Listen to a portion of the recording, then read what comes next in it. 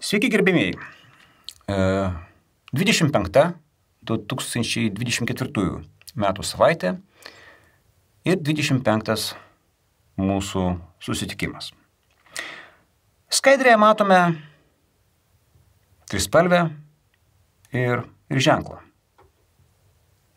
Birželio 23 1941 metų. Tai viskas aišku. Tai yra ši savaitė ir mes kalbėsimės apie Birželio sukilimą. Žinau, tema kai kam gali būti neįdomi arba nuvalkata. Pavyzdžiui, 1921 metais Valdas Arkutis labai nemažai yra apie tai kalbėjęs ir buvęs netgi šitame kanale. Aš pasistengsiu apie tai pakalbėti kitaip, nes aš gimiau Birželio 23 dieną.